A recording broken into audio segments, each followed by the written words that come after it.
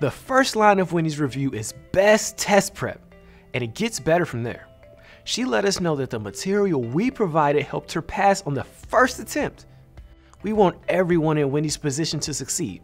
So if you're a teacher or a soon to be teacher who needs to pass your FTCE exams, you're in the right place. My name is Terry, and I work with 240 to help teachers just like you pass their certification exams. This video is going to prepare you for the science portion of the FTCE Pre-K 3. This is a test for anyone who wants to teach pre-kindergarten through third grade in the state of Florida. This video is going to cover three things, what's on the test and how to study it, the most important concepts to master, and we're going to look at a few practice questions. The FTCE Pre-K 3 exam is split into four subtests, developmental knowledge, language arts and reading, mathematics, and science. Each contains a certain amount of selected response questions, but for now, we're going to focus on science, which has 50 questions in all. Ready to see what's on the science subtest? Then fire up those Bunsen burners and let's get cooking. Now, the FTCE Pre-K 3 science subtest consists of five competencies. You'll need to have knowledge of effective science instruction, the nature of science, earth and space sciences, physical sciences, and life sciences. Each competency is worth between 17 and 25% of your exam. Let's start with how to teach science and take it from the top with competency 1. This section of your exam covers best practices for teaching science. Expect to see questions on the best strategy to use when presenting different topics to students, identifying developmentally appropriate expectations, how to assess science knowledge, and even how to set up your classroom and facilitate a successful science lesson. Right now, I bet you're thinking, whoa, Terry, what does all that even mean? Did I get it right? Is that what you were thinking? Am I psychic? I'm definitely psychic. Anyway, let's dive into this a little more. So when we talk about best practices for teaching science, you're to see a lot about inquiry. Inquiry-based learning centers around developing and answering questions or solving problems from the real world. Students learn as they develop investigations, perform experiments, and seek answers with teacher-guided conversations and activities. Real science involves discovery and investigation. So if you want to teach students to think like real scientists, they have to do science, not just read about it or listen to it. Do you want to see a video about this in our study guide? My psychic power says yes. Let's do it. The nature of science involves discovery and investigation. So, to learn science, students need to act like scientists. Students must do, not just read or listen. During the inquiry process, students develop the habits and skills of science as well as the ability to think critically.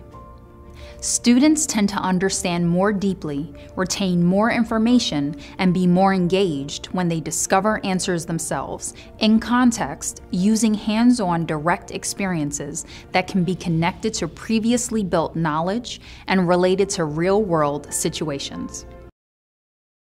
Now, I knew you'd like that. So in this section, any chance you get to have students experiment with their hands, collect their own data, and generally try to figure things out on their own is best. But remember, that's only one part of this competency. You also want to know about different kinds of assessment, like formative, summative, formal, and informal.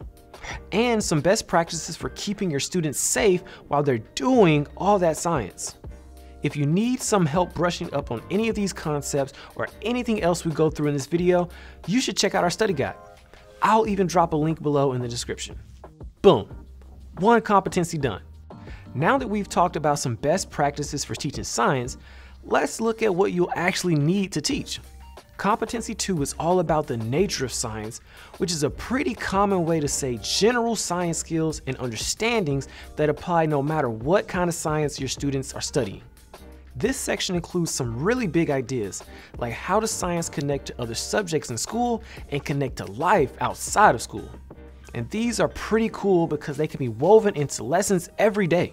It also covers things like asking questions, developing hypotheses, collecting, measuring, and analyzing data, and scientific reporting. By any chance, does that list of skills sound familiar to you? Are you psychic too? Nah, that's just a scientific method. Need to brush up on those steps a bit? Let me show you a flowchart from our study guide that helps break it down. Students start by identifying a problem, then they make observations about the problem.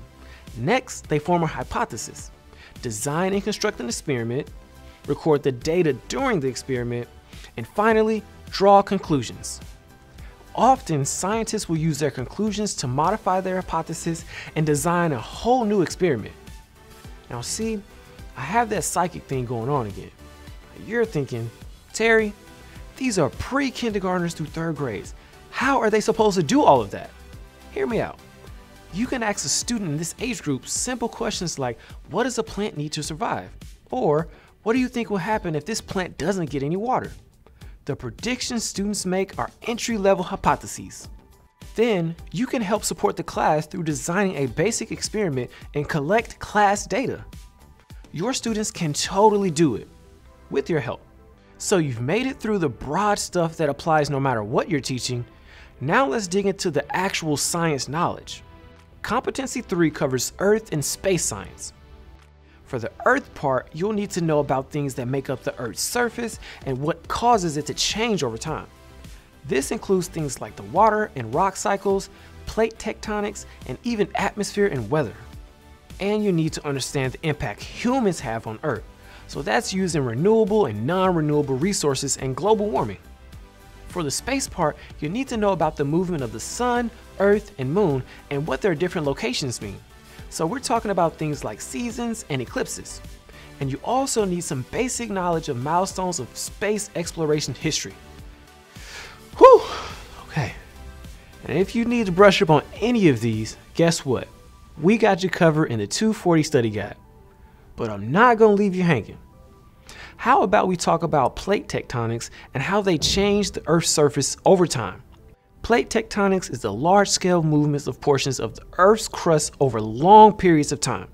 And when two plates meet, that's called a boundary.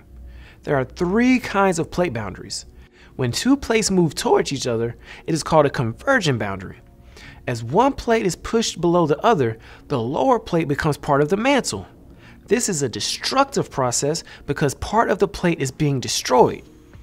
If two plates move away from each other, it's called a divergent boundary. This is a constructive process because as those two plates move away from each other, materials from the mantle come up to fill the gap, creating new land. And finally, if the plates push past each other in opposite directions, it's called transform boundary. And again, remember, that is just one part of the Earth and space science competency.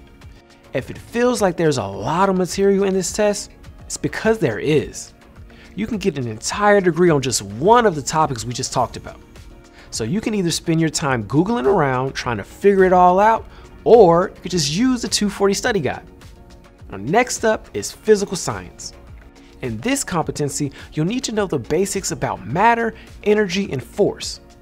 In the matter section, you'll need to know about the states of matter, so solids, liquids, and gases, and the properties of each. And in the study guide, we've got all the information you need to know in a graphic like this one, or in a video like the one you saw earlier. So you can choose the way you learn. You'll also need to know the physical and chemical changes of matter, like when an ice cube melts or a candle burns, and how to classify matter in elements, compounds, and mixtures.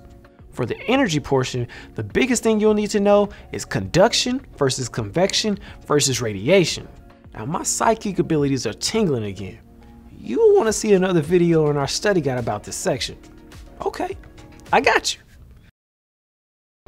So remember, there are three main ways thermal energy is transferred. Conduction, through a solid or between two materials that are touching. Convection, by a moving fluid and radiation by an electromagnetic wave. And remember, there's a lot more where that came from in the study guide. And that just leaves us with the force part of this competency. And this is the most straightforward of the bunch. You just need to know how a push or a pull will impact the movement of an object. If I push a box forward, it will move forward. The harder I push it, the faster it will go. We're almost there. One competency left. And don't forget, We'll do some practice questions after life science, so be sure to stick around. Now, just a heads up, there's a lot in this life science competency. And since this competency takes up about 25% of your exam, you really want to know what you're talking about. All right, so stay with me on this. You're going to want to know all of the following how plants and animals respond to stimuli in their environment, the basics of heredity, how to classify organisms, relationships between organisms like predation and pollination, characteristics of living things versus non living things, the structure and function of organisms, the basics of the human body, how organisms grow and develop, sexual versus asexual reproduction, habitats, and ecosystem. Whew! All right, you guys got all that? Because I'm about to head out. Just kidding. But you'll need to know all of what I just mentioned. So let me get you started. You need to be able to tell if something is alive.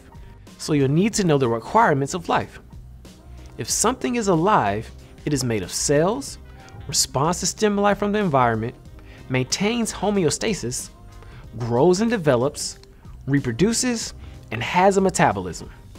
If it doesn't meet all of these criteria, it is not alive. But like you saw before, there is so much more to know just in this competency alone.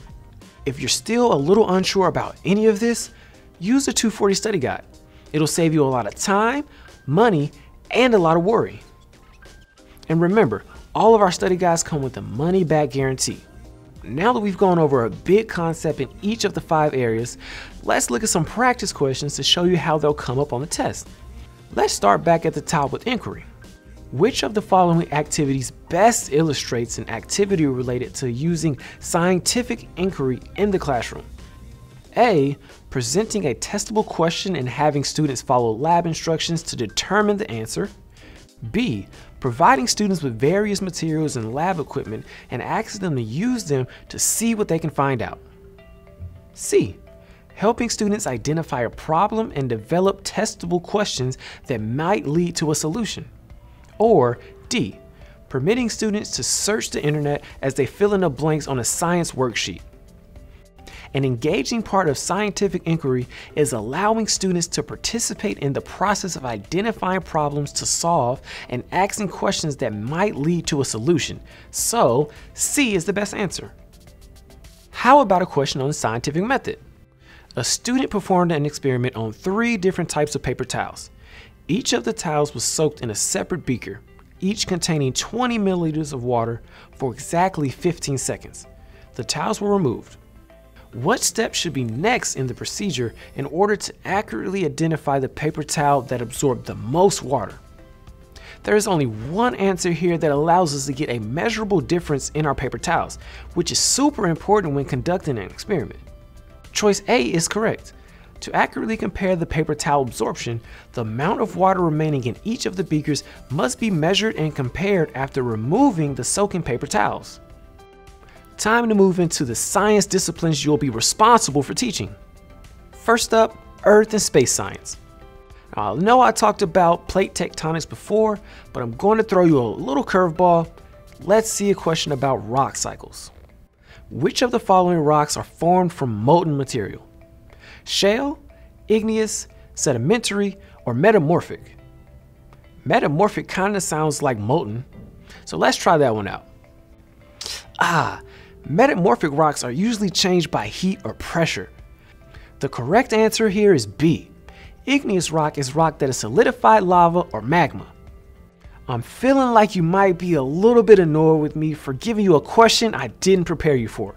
So how about I make it up to you with a question from the space section? What period of time can be measured by roughly one revolution of the moon around the earth? One decade, one year, one month, or one day? Choice C is best. It takes roughly one month for the moon to revolve around the Earth. Let's move on to physical science. Remember conduction, convection, and radiation? How does heat from the sun travel to the Earth? Right away, we can cross off photosynthesis. That's a process done by plants to create sugar that can be used as energy. The sun warms the planet by sending heat in the form of electromagnetic waves. This means radiation is the best answer. Ready for life science? The survival of any living thing is directly dependent upon air, water, shelter, and which of the following? Carbon dioxide, sunlight, sexual reproduction, or nutrition? Both reproduction and nutrition were on the list we looked at earlier, but the key here is that not all organisms use sexual reproduction. Some reproduce asexually, so D is the best answer. Now that's just a small sample of practice questions to give you an idea about how these concepts will appear on the test. For a full practice test, click the link in the description below. Congrats on finishing the video. If you enjoyed it, give us a like. 240 has helped thousands of teachers pass their certification exams, and we want to help you as well. So take the next step and subscribe to the 240 study guides. They have hours of videos so you can watch or listen as you please. It is test aligned so you know precisely what you need to study. And it has hundreds of practice questions so you can be sure that you're ready. And it has a money back guarantee. So click that link in the description below and get started today.